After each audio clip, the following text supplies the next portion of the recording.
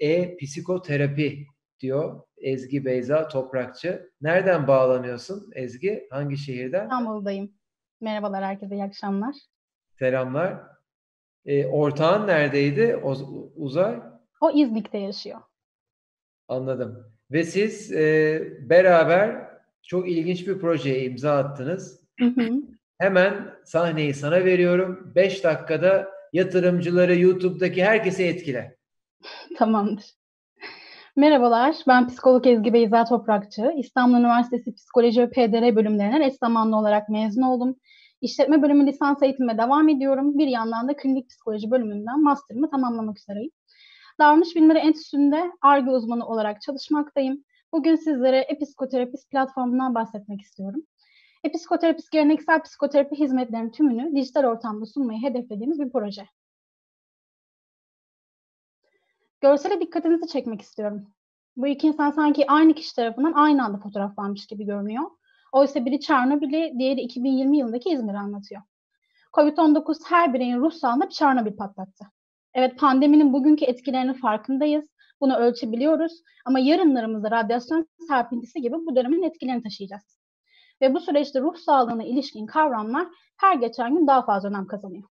Episkoterapistin amacı ise tüm bunlar sebebiyle hem COVID döneminde hem de sonrasında dolayısıyla bireyin, dolayısıyla toplumun ruh sağlığına katkı sağlamak. Sistemimizin üç temel ayağı bulunmakta. Online danışmanlık platformu, psikoeğitim portalı, bilişsel becerileri geliştirme programı. Bu üç farklı hizmetten ilk ikisini ekranda görmüş olduğunuz demo sitemizi hayata geçirdik ve iki ay boyunca halkımızın ücretsiz erişmesi için şu an kullanımı açtık. Bilişsel beceri geliştirme programını ise projemizin ikinci yılında hayata geçirmeyi planlıyoruz. Müşteri segmentimize baktığımızda COVID sebebiyle psikolojik açıdan yıpranan gruplar, terapi hizmetine erişim imkanı olmayanlar ve dezavantajlı gruplara, ticari hizmet döneminde ise orta üst gelir sınıfına sahip uzman psikoterapist arayan kişiler ve kamu ve özel kuruluşlara hizmet vererek çalışan bağlılığı, çalışan sağlığı, şirket verimliliğini arttırmayı hedefliyoruz. 2017 yılında 13 milyon danışanın sadece %5'inin online terapiyi tercih ederken 2020 yılında bu oranın 20 milyon danışan üzerinden %25'i aşacağı öngörülmekteydi. Bununla birlikte bir psikoterapist olarak benim sektörel gözlemime göre Türkiye'de son 3 aydır seansların %90'ının online gerçekleştiğini söyleyebilirim. Türkiye'de pek çok rakibimiz var. Ancak biz akredite terapistlerle çalışarak, elektronik imza, imza ile onaylanan güvenlik sistemine sahip olarak psikoeğitim portalıyla, bilişsel beceri geliştirme programları ile Türkiye'deki diğer tüm sitelerden farklılaşıyoruz. Bununla birlikte BetterHelp isminde uluslararası alanda benzer hizmet veren sistem şimdiye kadar 1 milyon danışana ulaşmış durumda ve bizim BetterHelp'e göre iki farklı noktada üstünlüğümüz var. Gelir modelimiz altı kalemden oluşuyor. Terapistler için abonelik ücreti, seans ücretinden pay, psikoeğitimlerden alınan pay, kurumlar için norm ve raporlama çalışmaları, kurumsal satışlardan elde edilen gelir ve reklam gelirleri şeklinde olacak. Salgın döneminde toplam 50 terapiste 1000 ücretsiz seans sunmayı hedefliyoruz ki demo sitemizi açalı henüz 3 gün olmasına rağmen 28 terapiste ulaştık bile. Ağustos ayında ticari hizmet dönemine geçtikten sonra en kötü senaryo, senaryoya göre finansal hesaplama yaparsak başa baş noktasının ticari hizmet döneminin 7. ayında yani 2021 yılının Şubat ayında olacağını öngörüyoruz. Peki şimdiye kadar neler yaptık? Fikrimizi tasarladık, ortak akıl platformuna başvurduk, son 20'ye kaldık. Demo sitemizi oluşturduk, gönüllü hizmet dönemine başladık. Ama en heyecan vericisi iki gün önce ceza infaz kurumu personellerine psikoeğitim grupları oluşturmakla ilgili ilk işbirliğimiz üzerine çalışmaya başladık. Demo sitemizi yayına alalı henüz 3 gün olmasına rağmen 63 danışana ve 28 terapiste ulaştık. Bir yandan da ticari hizmet döneminde kullanacağımız sitenin yapımına başladık. Bu fotoğrafta da iş ortağım Uzay ile birlikte görüntülü görüşme testleri yapıyoruz. Gantt şemasında şu an gönüllü hizmet aşamasındayız. Ağustos ayında melek yatırımcı desteğiyle ticari döneme geçmeyi planlıyoruz. Ayrıca ticari hizmet döneminde sadece yurt içinde değil, yurt dışında da hizmet vermek istiyoruz. Yatırım turuna baktığımızda %15'e karşılık 500 bin TL arıyoruz. Bir yıllık dönemde kullanacağımız fon dağılımımız grafikteki gibi. Tabii buraya kadar size başardığımız pek çok şeyi aktardım ama bunların hiçbirini ben başarmadım. Biz başardık. Ekibimizde ben hizmet geliştirici olarak görev yapmaktayım. Uzay Yusuf Heyecan iş geliştirici, Onur Yüksel ve Mert Sevilen IT ekibimizi oluşturuyor. Cavit Kınalı ise dijital reklam ve pazarlama konularına bize destek oluyor. Salgın döneminde çalışanlarına ücretsiz terapi sağlayan şirketleri içeren 3 Mayıs tarih, tarihli habere dikkatinizi çekmek istedik. Şu an bütün kurumlar psikoloji ayağında e, bir şeyler yapmanın peşinde. Burada SWOT analizimiz var. Bir sonraki slaytta da proje kanvasımız var. Teşekkür ediyorum. Sorularınızı alabilirim. Ezgi tebrik ederim. Tertemiz bir sunumdu. Teşekkür ederim. Gerçekten herkes böyle kilitli kaldı. Tabii bunda psikoloji eğitiminde ver, aldığın tekniklerle bizi etkiledin mi ne yaptın bilmiyoruz tabii. Işin Aslında çok heyecanlıydım açıkçası. Fuat, Fuat Bey müsaade ederseniz burada e, ben başlamak istiyorum çünkü bir açıklama da yapmam gerekiyor. Tabii buyurun. E, Ezgilerin e, jüri sunumlarında da vardım ben. Aslında e, belki Bülent Hocam da bizi dinliyorsa şu anda Ortak Akıl platformundan e, en çok tartıştığımız, üzerinde tartıştığımız projeydi. Hatırlarsın Ezgi. Hı hı. E, çünkü burada ciddi şekilde bir veri güvenliği, kişisel verilerin güvenliği ile ilgili bir sorun vardı. Hı hı. Sunumunda bunu göremedim ben. E, bu soruyla başlamak isterim. E, çünkü hala kafamda çözülmedi o soru. Evet notlarında. Sizin bunu soracağınızı biliyordum ve teknik ekibe girmeden önce güvenlik ne demek, bunu nasıl sağlarız? Tabii e, ekipteki tek psikolog benim, diğerlerinin hepsi mühendis. Onlar yazılımdan anlıyor ama ben bu alana çok yabancıyım. Bu yüzden onlardan rica ettim. Bu arada eğer sorularınızı cevaplayamazsam yazılımla ilgili şu an bütün ekip yorumlarda bize destek oluyor. Onlar da e, sorularınıza cevap verebilirler. Burada fiziksel olarak kişiyle online görüşme esnasındaki veri güvenliği ile ilgili benim sorum. Hı hı. Yani bunun nasıl sağlanacağına benim ikna olmam gerekiyor. Anladım. Şimdi güvenlik dediğimizde bunun üç tane ayağı olduğunu düşünüyoruz. Bunlardan birincisi veri tabanı, ikincisi sunucu, üçüncüsü de sitenin aslında dış saldırılardan korunmasıyla ilgili bir şey. E, şifreli veri tabanı kullandığımızı biliyorum. E, tüm tüm verileri enkript ettiğimizi biliyorum. E, sunucu ayağında da Türkiye'nin en güvenilir sunucusu, sunucusunu araştırıp demo site içinde bunu kullandık. E, bu açıdan aslında verileri biz e, saklasak bile biz bile erişemiyoruz. Bunların hepsi uçtan uca şifreli diyebilirim. Ee, bunun dışında aslında bizim sitemiz hakkında güvenlikte kendimize en güvendiğimiz şu, konu şu. Bizim tüm rakiplerimizi incelediğimizde en büyük rakibimizin sayfasında 20 terapist olduğunu görüyoruz ve bunlardan sadece 5 tanesi uzman. En büyük rakibimizden bahsediyorum. Bizim şu an demo sitemizde 28 tane terapist var dedim ve bunların tamamı uzman. Dolayısıyla bu insanlar hem lisans eğitimlerinde hem master eğitimlerinde etik kuralların, psikoloji etiğin yani e, Türk Psikologlar Derneği tarafından bir etik kurul oluşturduğunun farkındalar ve buna uygun olarak e, hizmet veriyorlar. Bununla birlikte son bir şey daha eklemek istiyorum. Biz hem danışan ayağı için yani danışan arayüzünde hem de terapist arayüzünde bir gizlilik sözleşmesi oluşturduk. Bunu elektronik olarak imzalamadan kişiler zaten oradaki seansa başlayamıyor olacaklar ana sitemizde. Güzel hazırlanmışsın. Evet. Ee, Beyza merhaba. Ee, Merhabalar. dediğim, e, daha bugün evdeki psikoloğumu dinledik biz de sunumlarımızda. Hmm, Sizin Öyle mi? pazar- evet sizin pazar her gün şey oluyor kırmızı okyanusa dönüyor. Hı hı. Ee, daha önce Covid'den önce bu telemedicine dediğim şey olur mu diye düşünürken e, şimdi artık anlatmanıza gerek kalmadı. Herkes e, telemedicine istiyor. Hı hı. Böyle bir şey duydum bir gün bir doktordan. E, hasta doktora gitmek istemiyor. Doktor hastayı istemiyor. Hastane hiçbirini istemiyor diye. Hı hı. Hakikaten de doğru. E, sizin pazar kızışıyor dediğim gibi. Peki burada e, gelir paylaşımı... Yani bir şey soracağım. Bir, en yakın rakibinizde uzman değildi. Uzman olmayan biri zaten gelip seans yapabiliyor mu? Orayı anlayamadım.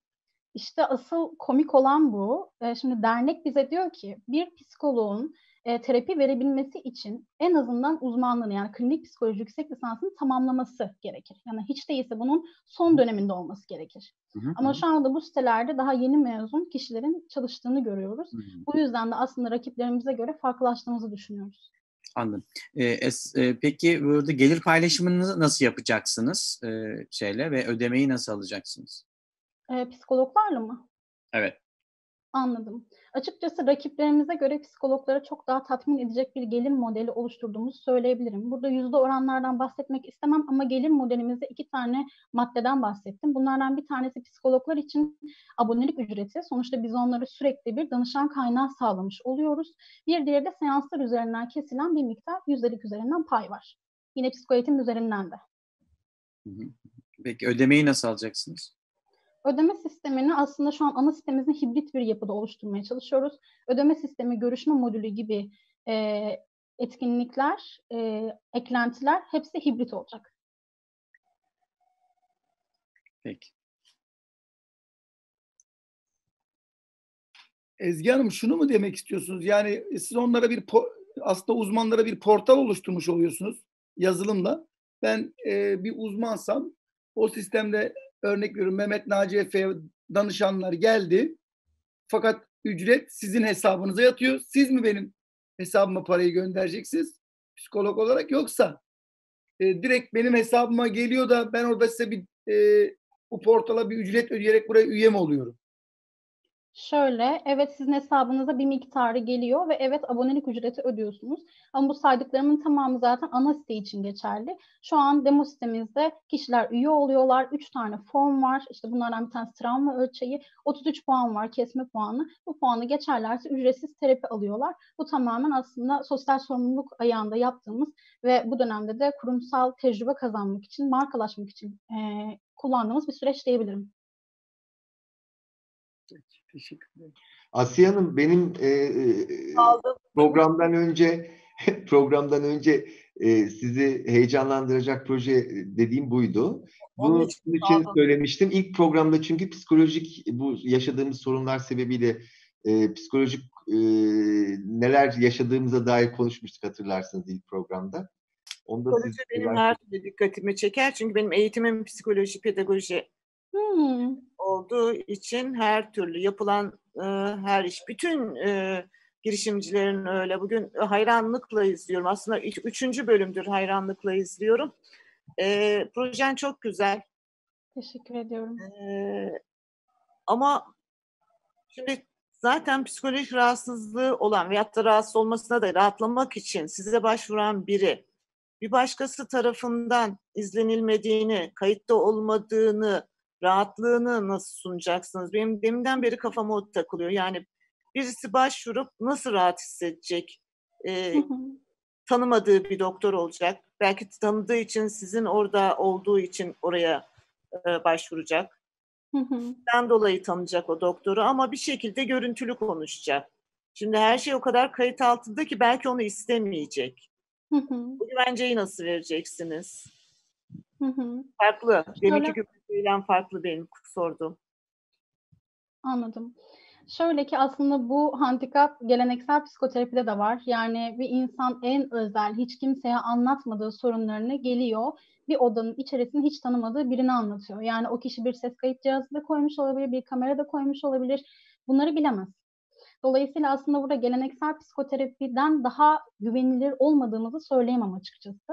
Bunun dışında aslında biz bütün kullanıcılarımızı şimdiye kadar şu anki demo sitemizde bile her zaman bilgilendirmeyi seçtik onlara ne kadar güvenli bir e, veri tabanı, ne kadar güvenli bir sunucu sunduğumuzu aslında en anlaşılır dille e, onlarla da paylaş, paylaşmak isteriz. Çünkü e, bütçe planında belki görmüşsünüzdür en yüksek payı oradaki hizmet alanı yani dışarıdan alacağımız hizmetler tutuyor ve bu kadar pahalı olmasının sebebi de en güvenilir hizmeti vermek istememiz. Yoksa bahsettiğim siteyi şu anda asgari ücret diyebileceğim bir miktara hayata geçiren pek çok yeni kuruluş var. Hulusi Bey'in de dediği gibi çok kızışan bir pazar ve bunu gerçekten bin liraya, iki bin liraya e, yaptırabiliyorlar. Ama emin olun hiçbirinde görüşme modülü dahi yok. İnsanlar WhatsApp'tan görüşme yapıyorlarmış. Ben pazar analizi yaparken çok şaşırdım.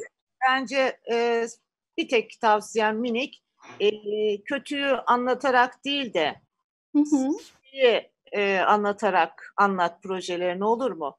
Tamamdır. Zaten insanlar zaman içinde görecektir. Kaan Bey bu Covid dolayısıyla dijital gelecek e, biraz daha beklerken daha mı çabuk geldi? Ne oldu? Sanki, Kesinlikle. değil mi?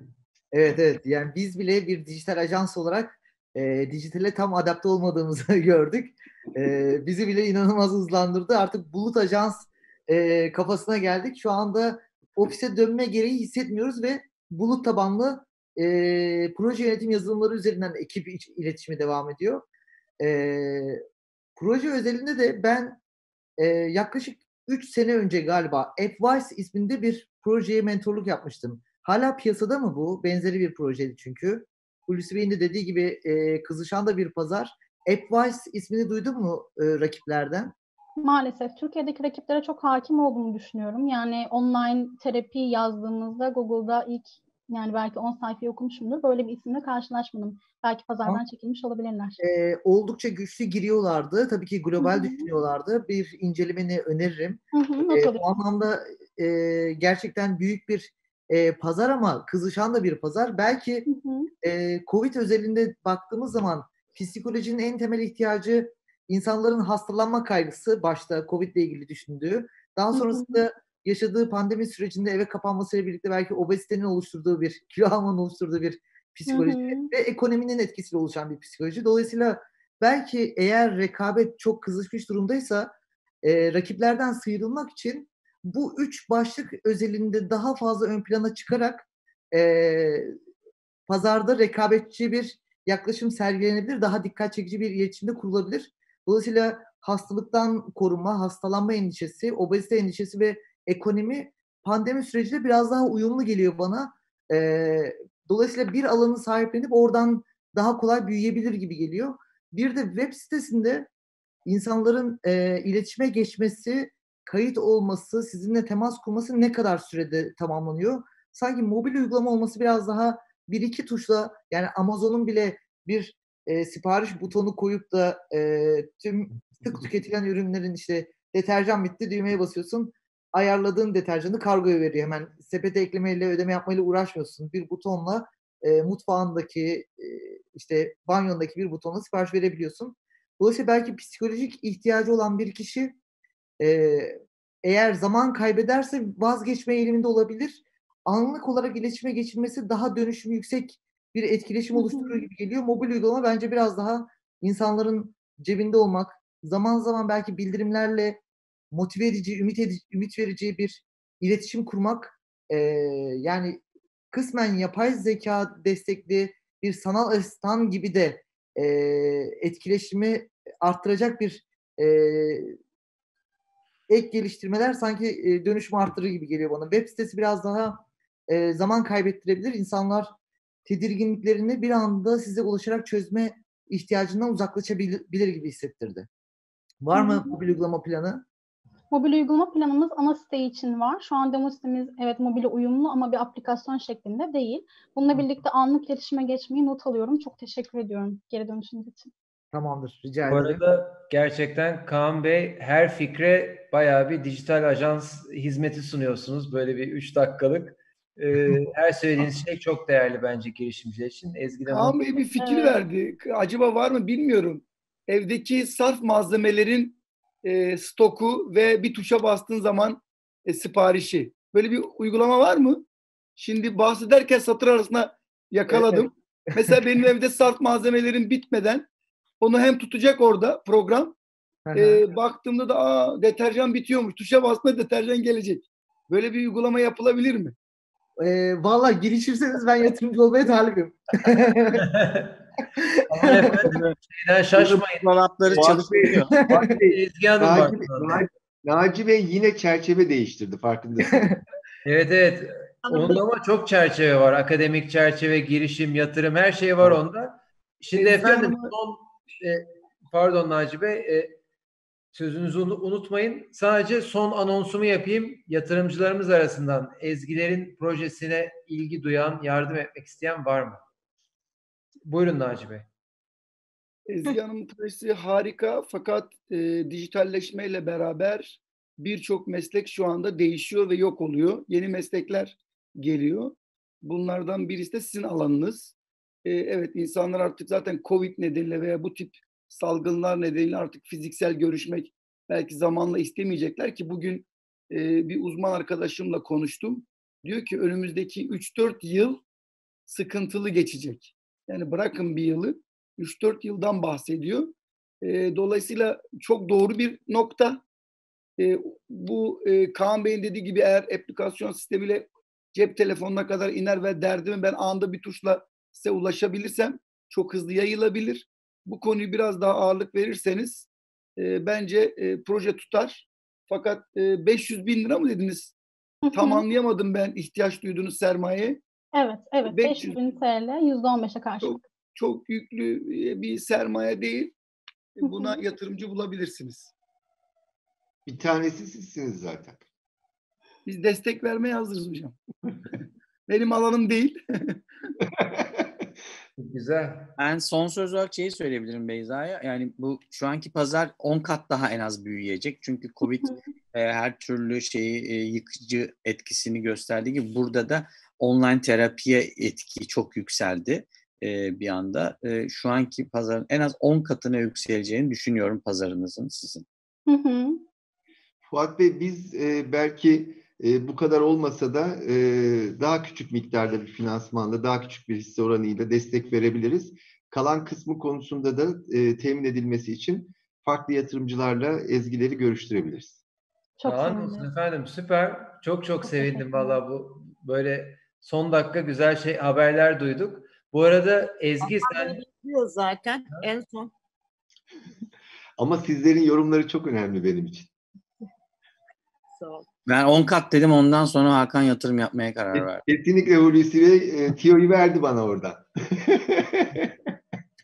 Ama belki iyimser e, yani bu konuda çok daha fazlası da olabilir. Çok haklısınız Hulusi Bey. Yani şaka bir Olacak ama kan da yani kırmızı okyanus da oluyor aynı zamanda yani. Evet. Her gün kan artıyor pazarda. Hakan. Bey çözüm ortaklığı tam net olursa dediğiniz gibi biz de ucundan tutabiliriz. Kesinlikle. Yani belki dediğim gibi çok güzel söyledi Naci Bey. Bir kitle fonlaması hareke- hareketi olsun. Niye olmasın? Yani yüzde birer, ikişer hep beraber e, Ezgi'ye destek olabiliriz.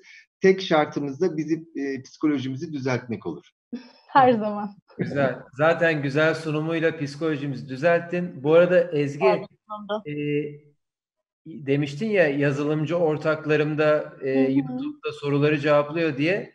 Bizim ilk bölümdeki bayağı böyle e, ses getiren jürimiz Selçuk Akmaz onları inanılmaz terletiyor şu anda. E, yani hiç merak etme onlar senden daha e, zorlu bir süreç yaşıyorlar. Dileyenler YouTube'da canlı yayın sorularına bakabilir. E, teknik anlamda sağ sol her yerden yumruk yiyorlar şu anda. Biz Sen o Selçuk yüzden Bey'le rahatlasın. Efendim? Pardon. Biz Selçuk Bey'le e, ilk sunumumuzdan sonra görüşmüştük. Ondan danışmanlık almıştık. Bize çok güzel fikirler vardı. Çok şey kattı. Buradan teşekkür ediyorum kendisine.